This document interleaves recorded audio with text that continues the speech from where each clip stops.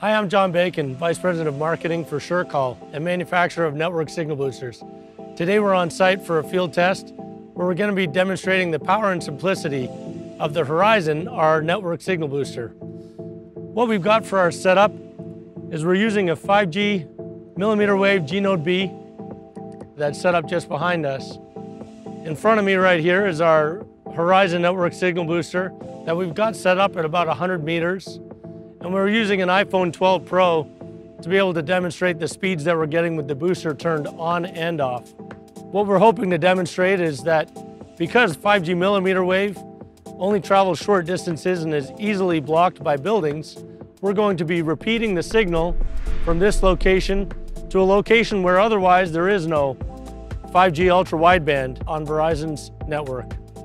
Before we get started with our test, we wanted to quickly demonstrate the speed that we're actually getting from the G-Node B. Everything is turned off for our network signal booster, the Horizon, but we just wanted to demonstrate the speeds that we are getting with direct line of sight, as you can see it behind me, uh, and just directly to the phone.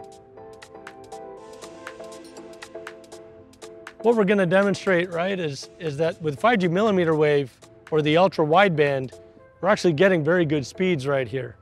Uh, we're pulling in above three gig uh, and in the location where we're going to be doing our test, it actually switches to 5G nationwide. 5G nationwide is excellent because it travels greater distances, but at a much reduced speed. As you can see right here, we got about 3.1 gig on the download and about 66 on the upload. Now we're hoping to replicate as close to that as possible when we go to our test location.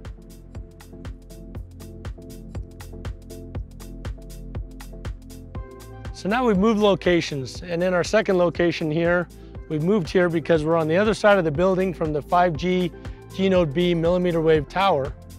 And actually we have no 5G ultra wideband or 5G millimeter wave signal. We're only getting 5G nationwide. So we're gonna run a speed test here. Uh, we've actually got the Horizon booster that's about 100 meters from us and it's powered off right now. So right now we're just getting the 5G nationwide, we're not getting any benefit of the actual 5G tower or base station. Gonna run a speed test real quick and see what speeds we're getting.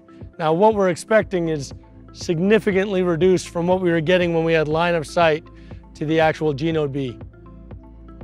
And that's exactly what we're getting, significantly reduced. I mean, there's still amazing speeds, frankly, and the 5G nationwide is a really great system because it's able to penetrate and cover a much larger footprint. But the millimeter wave doesn't actually cover as big of an area.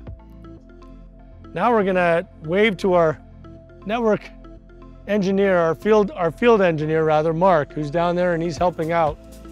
Mark's gonna be actually setting, uh, turning on the Horizon signal booster. You're gonna see on the phone here, it'll actually go from 5G nationwide to 5G UW. And that means ultra wideband. Again, that's millimeter wave speeds. So now we've got UW that's popped up on the screen. We'll go ahead and run our speed test. Now we're hoping for much higher and even closer to what we were getting a little bit before. And there we are, we're almost at three gig. I mean, this is incredible to be able to go from what we were getting, oh wow, 2.9. We'll consider that a speed test record from everything we know. And that's incredible, actually, the speeds that we're able to get. Again, with the booster turned off, you could see we were getting 5G nationwide, significantly reduced speeds. The second we turned the Horizon on, I think we're very happy with those speeds that we're able to get in an area that honestly, otherwise, we weren't getting close to that. Well, we'll call that another successful field test with the Horizon Network Signal Booster. Now you should know that the Horizon is currently being deployed with Verizon's nationwide ultra-wideband network.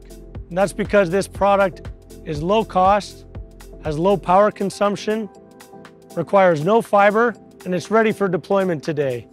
For more information, please visit surecall.com or the URL that we've got listed on the screen.